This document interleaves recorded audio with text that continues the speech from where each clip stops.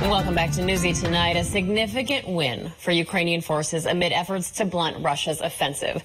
This is the Antonovsky Bridge. It's key to supplying Russian troops in southern Ukraine. Ukrainian forces hit it for the second day in a row today. The precision strikes were made possible by recent deliveries of U.S. high mobility artillery rocket systems.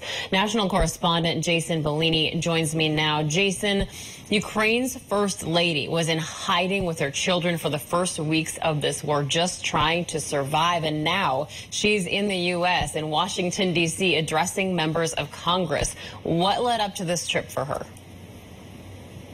Hi, Marissa. Well, she was impeccably dressed. She received multiple standing ovations from members of Congress while she was there in the capacity of an advocate for women and children. Why now? The reason is that Congress is about to enter recess, and she has this very specific ask for Congress relating to the type of defenses that the country needs as the country is continues to be bombarded by Russia. Her message overall was Russia kills, America saves, but America needs to do more.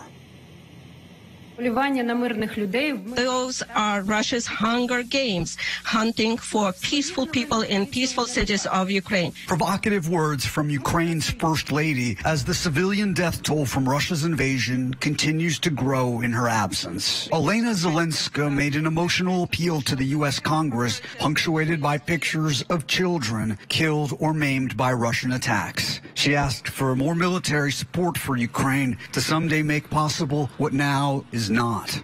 We want every father and every mother to be able to tell their child, go to sleep peacefully.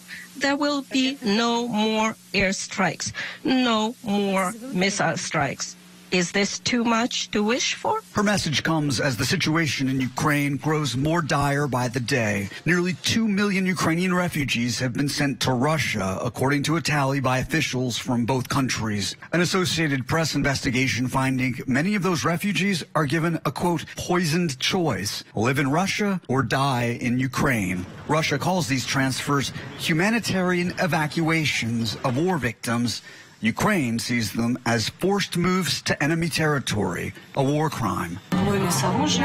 There were people with weapons.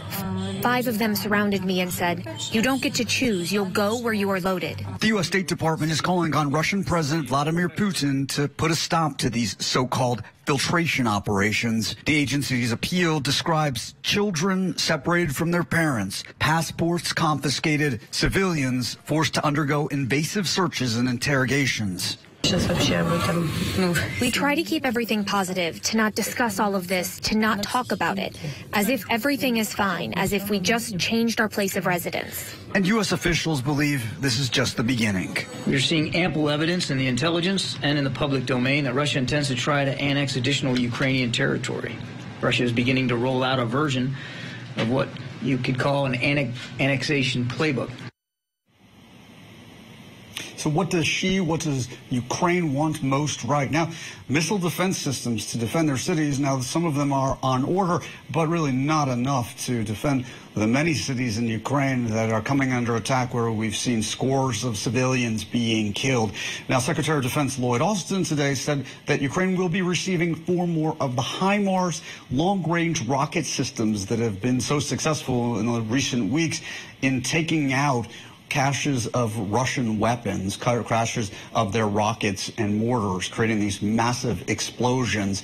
The U.S. is also going to be sending, he said, more tactical vehicles and other equipment to assist Ukraine. But again, those those defense systems, missile anti-missile defense systems, they can't get enough of them right now, literally. Maritza?